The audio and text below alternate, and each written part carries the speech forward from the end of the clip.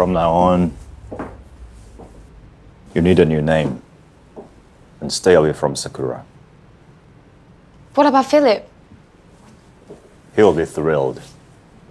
Doesn't he like having you in interesting new places? I guess. Think of a new identity.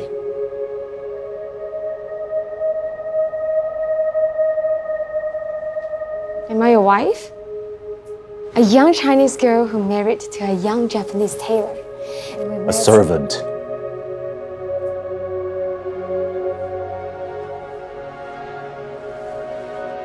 And my name? Ayo. Sounds like a good servant's name. Ayo? Yes.